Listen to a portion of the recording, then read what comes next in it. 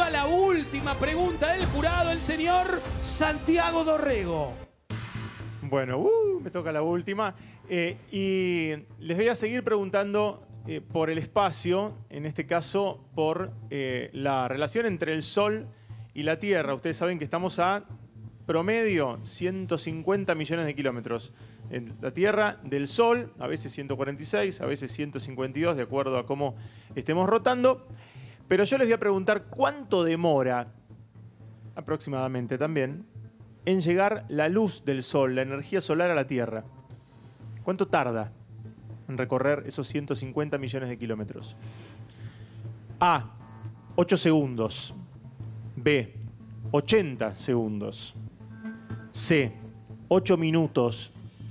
O D. 80 minutos.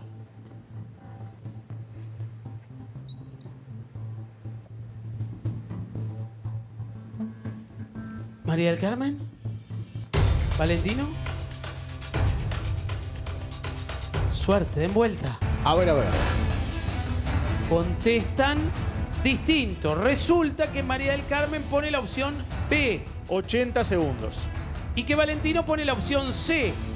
8 minutos. Te hago una pregunta, Santiago Dorrego, porque si es la A o la D de dedo, el ganador es Valentino. En ese caso, ¿es la A o la D de dedo? No es ni la A ni la D.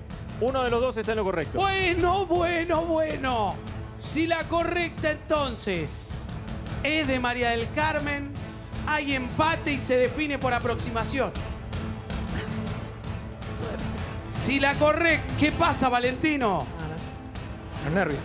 Ah, los nervios. Pensé que decía, no, no, no, no. Si la correcta es la tuya, tenés el millón. La correcta es Es la C, 8 minutos. millón de pesos. Muy bien. Valentino. Bravo. Lo hizo el estudiante de actuario. Excelente. Valentino, 21 años. Gracias.